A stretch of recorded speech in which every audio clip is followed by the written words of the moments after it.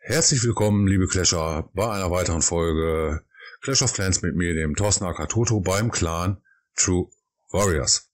Wir sind ja aktuell im Clankrieg und ähm, ich habe mir schon länger die Frage gestellt, wann denn wohl endlich neue Clan-Vorteile kommen, denn wir sind ja ganz gut auf den Weg zu Clan-Level 12 mittlerweile und wir sehen es an den Clan-Vorteilen, an den Clan-Perks, dass sich eigentlich ähm, hier im unteren Bereich beziehungsweise im oberen Bereich oberhalb 10 nichts mehr tut. Das ähm, ich will jetzt nicht sagen, dass da Langeweile aufkommt, weil man ja eigentlich nur noch nach dem Status äh, des Clan-Levels irgendwo ausgemacht wird, sondern ähm, hier muss sich einfach irgendwo was tun, hier muss sich mal wieder ein bisschen was verändern.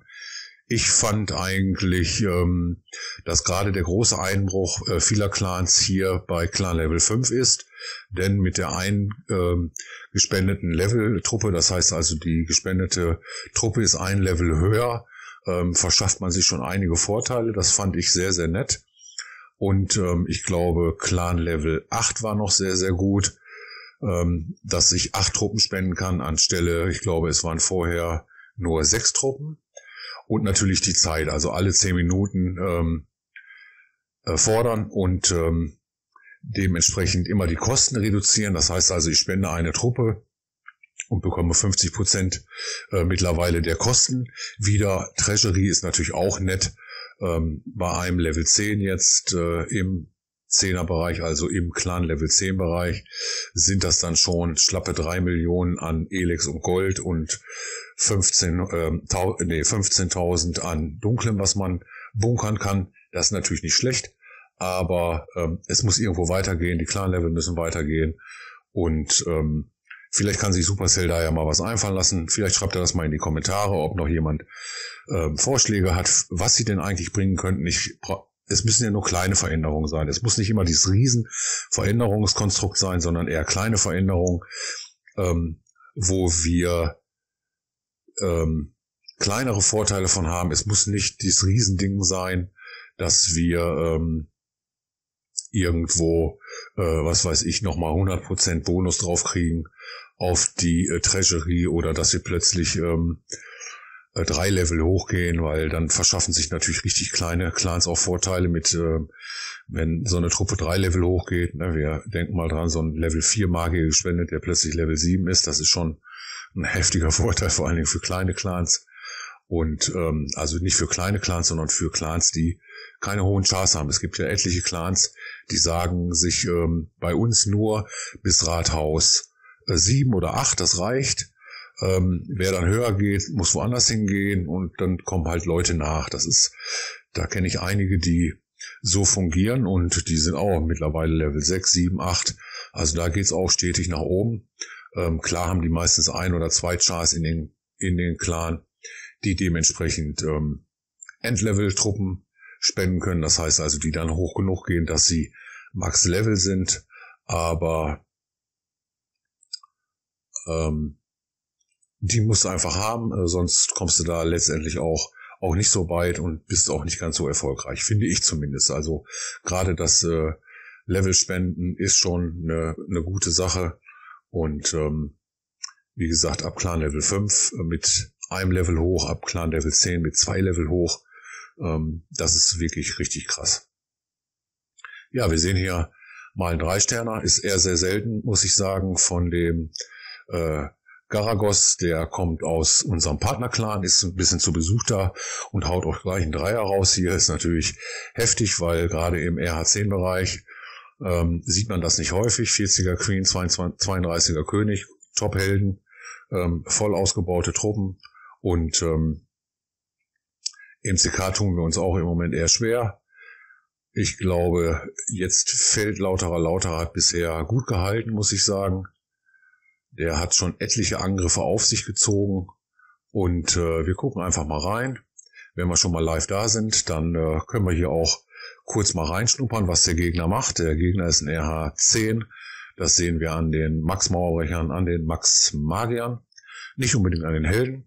Und ich sehe auch, dass er mit 5er Golems hier reinkommt, ist also ein Rathaus-Zehner. Und da hat es natürlich eine 9er Base sehr schwer. Da, die muss schon wirklich gut stehen, muss gut verteidigen.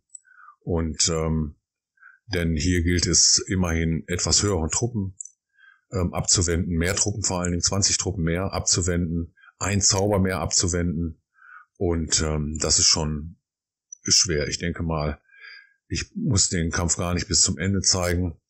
Ähm, da sind jetzt noch zwei Defenses offen, ganz, ganz viele Hocks, eine Minute 45, ein Heilzauber.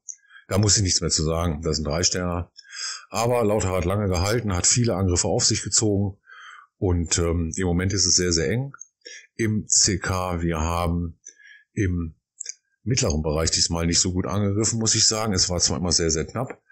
Mit äh, Avatar hier 89 Prozent oder auch äh, Donnerbengel 93 Prozent. Ähm, das sind alles knappe, knappe Angriffe, da fehlten nur ein paar Gebäude. Letztendlich war die Dev schon unten, aber wir haben noch ein paar Angriffe offen. Der Gegner allerdings auch, hat hier oben schon verschossen. Mal gucken, was die oberen 3, 4, 5er hier noch bringen. Und ähm, drei Stunden läuft der Krieg noch, da ist noch alles drin. Wir haben aber jetzt unsere letzten ähm, drei Sterne eben im unteren Bereich geholt. Beim Gegner war der untere noch offen, das ist allerdings auch ein Rathaus Level 5 oder 6 gewesen. Ja, Rathaus Level 5, also kein Thema. Und dementsprechend muss man mal gucken, ob wir das Ding nach Hause schaukeln oder ob das ein Griff in die Tonne wird. Und wir am Freitag in unserem Pflicht-CK wieder mit mehr Leuten antreten. 2020 eher unüblich bei uns, aber wir sind auch nur 42 von 50. Viele ab ihre Helden, weil wir festgestellt haben, hier oben im oberen Bereich müssen wir hohe Helden haben. Also ein RH9, der eine Max-Out-Base hat, aber nur 10er Helden, der hilft uns absolut nicht, weil der bekommt immer einen Gegner, der gleichwertig stark oder teilweise stärker ist. Und wir suchen also nach wie vor vor allen Dingen Rathaus 8, denn die gehen uns so langsam aus. Es gibt welche, die gehen jetzt im Moment nicht auf 9, weil wir dann überhaupt keine Achter mehr haben. Und wir suchen also händeringend Rathaus Achter, gute Rathausachter, also keine Beginner. Man sollte schon sieben durchgemaxt haben.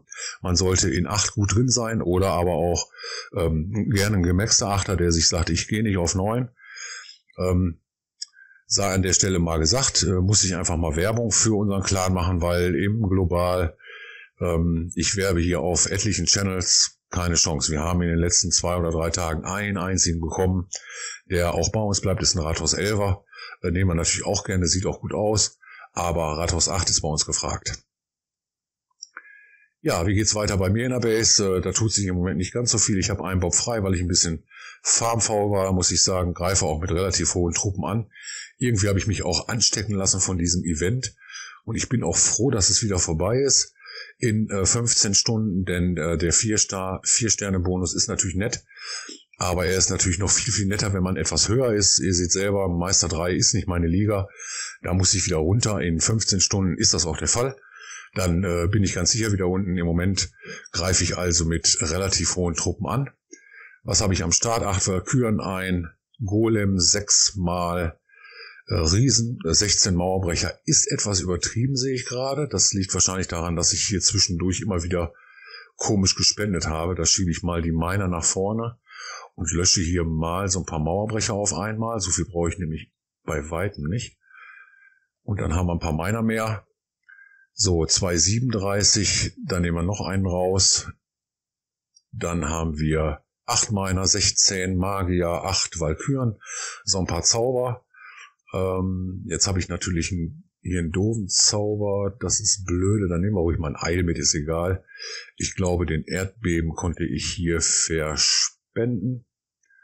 Ähm, ah nee, der hat auch schon Erdbeben. Dann kriegt er hier von mir noch einen Riesen. Und ähm, wir können mal losziehen. Wir machen einen Angriff. Gucken wir mal, was uns bevorsteht. Ein bisschen Schild haben wir ja noch. Ähm, Im Moment äh, tatsächlich äh, ist mir Gold und Elex na, nicht ganz egal. Elex habe ich richtig viel verbraucht. Ähm, farme mit dunklen Truppen und äh, mal und schaue immer, dass ich ein bisschen Dunkles auch wieder reinkriege, denn wir haben ja Ziele, dass wir unseren King weiter leveln und Dementsprechend darf immer ein bisschen Dunkles dabei sein bei diesen äh, Kämpfen hier. Mal sehen, dadurch, dass ich jetzt im Meister 3 bin, kriege ich allerdings auch Gegner, die ganz anders aussehen als in Gold oder in Kristall. Das ist also alles nicht mehr ganz so einfach hier.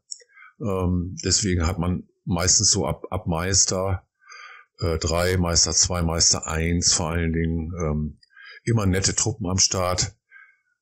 Zum dunklen Farben natürlich ideal hier oben. Hier oben hat immer fast jede zweite Base hat richtig viel Dunkles in der Base zu holen und ähm, dementsprechend geht man dann auch ganz gut mit den Helden hoch oder was man noch ab muss. Ich habe ja in knapp vier Tagen auch mein Labor wieder frei. Da weiß ich mal wieder nicht, was ich machen soll. Irgendeiner hatte mir in den Kommentaren geschrieben, Heilzauber, der geht aber leider nicht höher als sechs. Und äh, Giftzauber muss ich jetzt nicht unbedingt haben. Ich würde schon gerne Truppe machen. Ich bin mit mir am Hadern, Frostzauber äh, oder vielleicht den Lavahund. Der Lavahund läuft auch nur zehn Tage, denn der Hype um die Loons und um Luftangriffe ist ungebrochen. Ähm, scheinbar, ich habe zumindest nichts gehört, macht Supercell da auch erstmal nichts dran. Das heißt, es wird nichts genervt, also kein Loon schmeißt weniger ab. Die haben es ja nun gerade ein bisschen angehoben, dass sie ein bisschen schneller anwerfen, abwerfen. Und ähm, okay, der hat nicht viel Dunkles, aber er hat viel vom Rest. Und ähm, ich glaube, den nehmen wir mal mit. Der ist inaktiv. Die Inferno-Türme stehen auf. Oh, der steht auf Multi sehe ich gerade und der hier ist ein Single. Okay, wir holen uns dann, würde ich sagen, über den Multi unsere, unsere Base. Dann ähm, gehen wir mal hier mit dem Golem rein. Wir haben hier sechs Riesen am Start und ähm, gucken mal, wir kommen hier sicherlich ganz nett rein in die Base. So, dann ist es Zeit für die restlichen Riesen. Und wir ziehen die restlichen von denen nach. Die Mauerheinis können durchlaufen. Und wir schicken unsere Walküren mit ins Rennen. Hauen hier gleich zu Anfang mal einen Wut rein. Mal gucken, ob hier irgendwo hingesprungen wird. Ja, die Riesen müssten eigentlich jetzt da reingehen. Tun sie auch. Sehr schön. Dann hauen wir hier nochmal den rein. Den frosten wir mal. So, und wir lassen mal hier ganz geschmeidig unsere, unsere paar Tunnelgräber mit, mit reinlaufen. Und ähm, heilen hier nochmal die Valkis so ein bisschen durch. Ja, das sieht gut aus. Wir haben den, wir haben beide Infernos geschafft. Vor so einem Single habe ich immer noch ein bisschen Schiss. Aber ähm, ich denke mal, das lege ich auch ab. Ich bin hier im Moment ohne Queen unterwegs. Das sieht auch sehr gut aus. Seine Mitte ist noch ein Tesla. Jetzt müssen die ganzen vielen Riesen, aber da ich sehe noch, da ist noch ein Magier mit dabei. Und ähm, oh, die Gleisraum war ganz ab. Das ist super. Das ist mein Sternebonus vor allen Dingen. Jetzt gucken wir gleich mal, ob ich den nicht nochmal machen kann heute. Und ähm, 438, 555, das bringt mich wieder ein kleines Stück nach vorne. Pokale natürlich auch super und ich habe den Bonus, aber kann ihn nicht nochmal machen.